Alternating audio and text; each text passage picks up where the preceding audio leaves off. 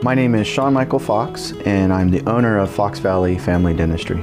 Uh, I became a dentist in the year 2004, graduated from New York University, went into the United States Navy, and from there uh, practiced for 13 years, and then ended up here in Visalia where I opened up my own practice. The general services that we provide here at Fox Valley Family Dentistry range from general fillings to braces to crown and bridge, all the way to more complicated services including dental implants. I had a family member that suggested when I was looking at which schools to go to, I wanted either to go to medical school. They suggested to try dental school because it was more suiting to my skill set, uh, my attention to detail, and I knew I wanted to be able to help people and provide a good service. My customers love the ease and convenience of all the services that I provide here at Fox Valley.